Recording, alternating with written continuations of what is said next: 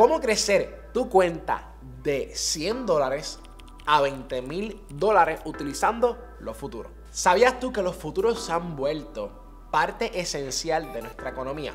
Tanto así que nosotros consumimos la materia prima y no nos damos cuenta. Por ejemplo, como el café, el algodón, lo que es el arroz, lo que son los metales preciosos, todos se intercambian a través de contratos de futuro. Ahora, en este video quiero que dejes de ser o pases de ser un consumidor de esta materia prima a convertirte en un inversionista para que puedas crecer tu cuenta exponencialmente. Vamos a darle.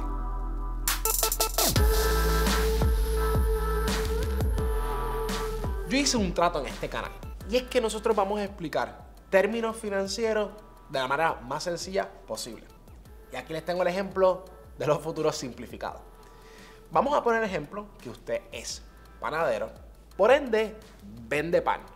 Usted vende la libra de pan a 6 dólares.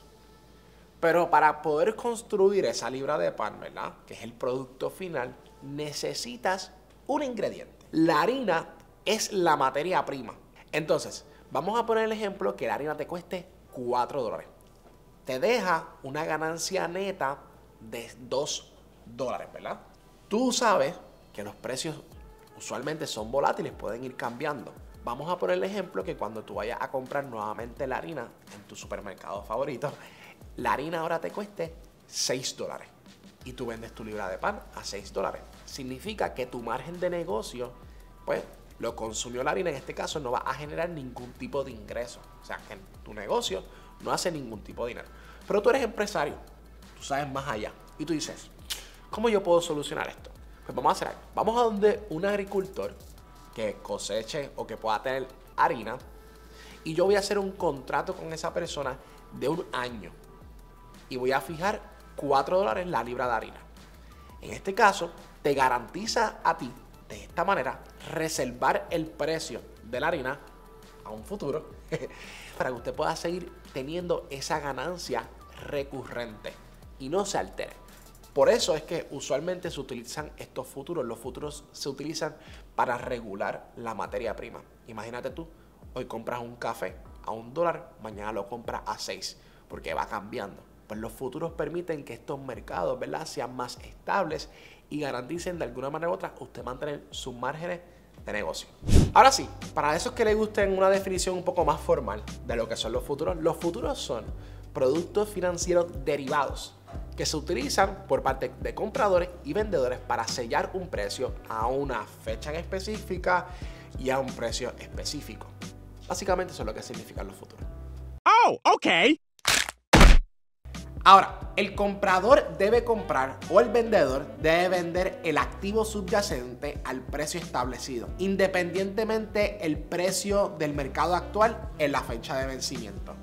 Los futuros, también llamados contratos de futuros, permiten a los operadores fijar el precio de un activo o de una materia prima.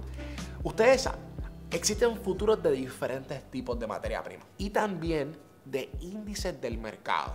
Esto puede ser el SP500, el Dow, el Nasdaq y otros productos financieros. Ok, les voy a dar un pequeño fun fact para hacerlo un poco más gracioso este video. Bueno, gracioso, que puedan tener datos contundentes. Y es que para que ustedes puedan entender lo grande que puede ser el mercado de los futuros, tienen que entender cuánto se intercambia. Por ende, el futuro del oro intercambia 27 millones de onzas diarias. Y sí, dije diaria. Como todo mercado, tiene su horario. El horario de los futuros es uno particular porque está abierto 24 horas, 6 días a la semana, abriendo el domingo a las 6 pm y cerrando los viernes a las 5 de la tarde. Todo este tiempo en el tiempo este de los Estados Unidos. La mayor diferencia entre lo que es los futuros y lo que es el mercado de la bolsa de valores es que lo critican un poco porque está abierto desde las 9 de la mañana hasta las 4 de la tarde. Por ende, todo el mundo está trabajando a esa hora y la gente pues no puede utilizar este mercado principal para el intercambio. Sin embargo, los futuros tienen unas horas de liquidez que te permiten a ti entrar en diferentes horarios. Por ejemplo, el horario principal, que es el que yo intercambio los índices o los futuros de índices del mercado del SP500, van desde las 9 de la mañana a 4 de la tarde. Y después tenemos otra tanda a las 11 de la noche y después hasta las 3 de la madrugada. Que realmente, o sea, tenemos dos tipos de horarios. Tú puedes intercambiar 24 horas, recuerda, pero donde más va a haber cambios o movimientos son durante esos periodos, lo que es el SP500 o los índices. Por ejemplo, lo que es el petróleo, el petróleo tiene otras horas, a las 4 de la mañana, 5 de la mañana, 6 de la mañana se mueven sumamente bien. Así que por lo menos esos son los, ¿verdad? Lo que es el horario de los futuros. Igual, yo les recomiendo que usted vaya a la plataforma, que usted va a intercambiar, en este caso si es Ninja Trader, si es TD Ameritrade, te van a decir las horas particulares en que abren y cierran esos futuros. Bueno, llegamos a la parte que a todo el mundo le gusta, por ende vamos a estar hablando de cómo hacer billete. А что за направление? А? Что за направление? Направление? Какое направление? Что за направление музыки играет там? cómo hacer dinero en los futuros. Y para eso necesitamos dos cosas bien importantes. El tick size y el tick value. Lo que es el size, que en este caso es el tamaño, es la tasa de cambio mínima que puedes generar o que se mueve ese futuro para tú poder generar ingresos. Por otro lado tenemos el value, que es lo que te va a pagar por cada tasa de cambio de ese futuro. En otras palabras, si tenemos un futuro que su tick size es de 0.25 y el tick value es de 5 dólares, significa que si se mueve 0.25 yo voy a generar 5 dólares. De manera bien sencilla. Ahora está. Yo quiero entonces darle unos ejemplos de transacciones que yo hago personalmente, que yo creo que les va a ayudar bastante a entender en qué áreas se pueden dirigir, porque yo usualmente intercambio los futuros de los índices del mercado. Y para eso son tres, obviamente tenemos el Nasdaq, el SP500 y también lo que es el Dow Jones, así que los voy a estar explicando entonces ahora. Ahora, ¿cuáles son los futuros que yo más intercambio? Y son los índices del mercado. Vamos a empezar por el primero que es el NQ. El NQ simboliza al Nasdaq, las compañías de tecnología. Próximo que tengo es el ES, que es el SP500. Y por último tengo el YM, que es el Dow Jones Industrial Average de las 30 compañías más grandes de los Estados Unidos. Ahora bien, cada una tiene sus requerimientos y también tiene sus ganancias diferentes y sus tick size diferentes. Por ejemplo, si yo voy a intercambiar el Nasdaq, que en este caso es el NQ, yo voy a intercambiar eh, la tasa de cambio mínima de 0.25. O sea que cada 0.25 yo voy a generar 5 dólares. Pero por otro lado, el SP500, la tasa de cambio se queda similar a 0.25, pero te paga 12 dólares con 50 centavos. Y el Dow Jones Industrial Average es de un punto. Te paga 5 dólares. O sea que cada punto que se mueva te paga 5 dólares. Para que ustedes puedan tener en perspectiva cuánto dinero ustedes pueden generar en este mercado, eh, usualmente el Nasdaq tiene un aproximado de moverse entre 100 a 200 puntos diarios. También tengo al SP500 que se puede mover entre 40, 50, 80 puntos diarios.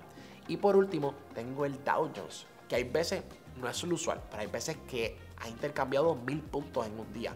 Pero el, el rango, desde 300 a 400, 500 puntos. O sea, si yo lo traduzco a dinero, ejemplo, si yo tengo un contrato de futuro del NQ y se movió 100 puntos ese día, yo generé 2000 dólares. O sea, para que ustedes puedan ver el potencial de ganancia que podemos tener. Pero adicional a eso, mi inversión inicial es como de 3 dólares. Porque estos futuros te permiten un apalancamiento enorme. Claro está, no te emociones muy rápido porque hay unos requerimientos en tu cuenta para poder cumplirlo. Así que vamos entonces con los requerimientos. Ok, para tú poder intercambiar contratos de futuro, usualmente las casas de corretaje te van a pedir pues algunos tipos de requerimientos. Puede ser balances inicial, tipo de márgenes, etcétera, etcétera, etcétera. También incluso las comisiones van a variar, van a variar muchísimo entre casas de corretaje. Por ejemplo, TD Ameritrade te requiere para intercambiar el NQ tener un balance en la cuenta de 20 mil dólares. Aunque usted no va a utilizar los 20 mil dólares como eh, posición principal, pero tiene que tener por lo menos 20 mil dólares en la cuenta. Pero si nosotros comparamos eso mismo con Ninja Trader, Ninja Trader te puede pedir entre 5 mil y 8 mil dólares solamente para el NQ. El NQ es un futuro bastante grande, ¿verdad? Porque puede generar capital bastante rápido, obviamente. Pero hay otro, otro, otra existencia que es el MNQ, que es el Micro Future, que te permite a ti ¿verdad? Entrar a estos futuros con una cantidad un poco menor. Por ejemplo, TD Ameritrade en ese pide solamente 2 mil dólares. Pero si nosotros nos movemos a Ninja Trader, nos pide 500 dólares nada más.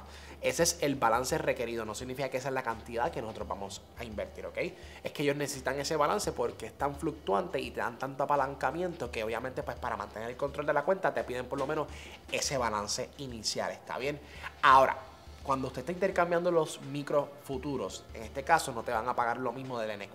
Si te, el tick size sigue siendo igual, que es .25, pero ahora te va a pagar 50 centavos por cada .25, que incluso es muchísimo, porque si tú compras dos contratos, tres, tres contratos, te va a estar moviendo entre 2, 3 dólares, o sea, cada punto 25, que es bastante también, porque como les digo, el mercado se mueve entre 100 a 200 puntos habitualmente, o sea que es normal para todos nosotros, ¿está bien?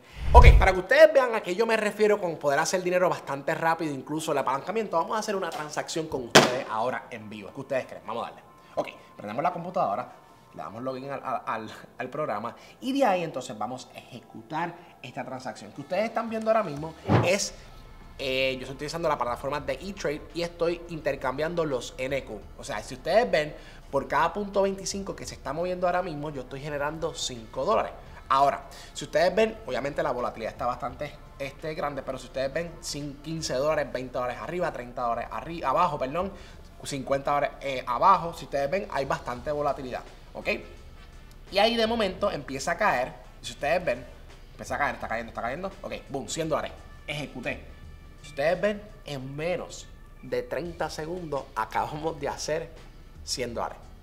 Se ve fácil, pero yo tengo experiencia. Vamos a continuar con el video. Bueno, claro está. Imagínate tú poder hacer 100 dólares diarios. O sea, es bastante bueno. O sea, estamos hablando de que usted puede reemplazar su trabajo. Ese es el potencial. Pero para eso, si te está gustando el video hasta ahora, aprovecho para decirte que debes de darle like para poder llegar a otras personas y educarlos. Y también que si quieres la parte 2 de este video, tienes que darle like y escribirlo en los comentarios, ¿está bien? Y de paso, te suscribes al canal. Ahora sí, los pros y contras de los futuros. Pues los futuros tienen unas cosas bien preciosas. Hay cosas que dentro de la bolsa de valores, lo que son las opciones, tienen algo famoso, lo que se le conoce el TEIRA, ¿verdad? Que por cada día que pase, ese contrato de opción va perdiendo valor. Pues en los futuros eso no existe. No tenemos time decay, no tenemos eh, reducción eh, de precio durante el tiempo, ¿verdad? Y es una de las cosas principales de los futuros. Aunque sí los futuros se, intercambian a través de contratos, igual que las opciones, no tienen esto que se le conoce el famoso TEIRA. Adicional a esto, muchas personas dicen, Víctor, pero si yo no tengo 25 mil dólares, yo no puedo intercambiar más de tres veces en un día en el mercado porque si no me congelan la cuenta, etcétera, etcétera. Claro está. Una de mis estrategias que les voy a decir ahora, que me ayudó a mí crecer mi cuenta a 25 mil y después de escalarla fue utilizando los futuros. Porque puedes intercambiarlo cuantas veces te dé la gana, cuantas veces tú quieras y no tienes ningún tipo de restricción. Puedes vender, comprar, vender, comprar, comprar, vender, todo lo que quieras, cuantas veces usted quiera en el mismo día y no hay problema. Y lo último es que 24 horas al día. Estamos hablando que usted puede intercambiarla en todo momento. Así que si está trabajando una hora, pues puede intercambiarlo un poco más tarde. Y esos son uno de los beneficios que pueden tener los futuros. Por otro lado, uno de los problemas o problemáticas que pueden tener los futuros es que, gente, pueden quemar sus cuentas muy, muy rápido. ¿Está bien? Así que el apalancamiento es gigantesco. Claro está, es un beneficio porque con poco dinero puedes apalancarte y puedes hacer muchísimo dinero y con una cuenta de 100 dólares puedes comenzar a moverla y de momento esa cuenta de 100 dólares puede llegar a 10 mil, a 20 mil dólares, pero si tú quieres aprender de esos trucos de cómo llevar esa cuenta a 10 mil o 20 mil dólares, te debes de suscribir a este canal para que puedas ver entonces la, parte número 2 de este video para que usted pueda ver cuáles son las estrategias. Así que dale like y suscríbete al canal, está bien. Pero esas son una de las ventajas que pueden tener los futuros, pero a la misma vez puede ser una de las problemáticas. Que si no sabes manejar tu riesgo bien, se desaparece la cuenta en un abrir y cerrar de ojos. Mira, se acabó todo. Vamos a continuar con el video. Además de los beneficios que pueden tener los futuros, que puedes intercambiarlo 24 horas, no importa en qué país tú te encuentres, como es 24 horas, pues puedes intercambiarlo. Es aceptado a nivel mundial ¿Qué significa esto? Que cualquier tipo de persona lo puede intercambiar y no tienes que ser miembro o no tienes que ser ciudadano de los Estados Unidos porque puedes intercambiarlo en cual país usted quiera. Hay diferentes casas de corretaje. Una que es aceptada a nivel mundial es Interactive Brokers y también la que es plataforma de Ninja Trader. Son súper buenas y puedes abrirte la cuenta ahí. Y como les digo, no tienes que ser ciudadano americano para poder aplicar y poder tener esta opción habilitada. Pero particularmente este, necesito que te suscribas al canal. Esto es bien serio. Y desde like a este video. Necesitamos llegar a más personas para poder impactarlos. No sean egoístas. Nos vemos en el próximo video.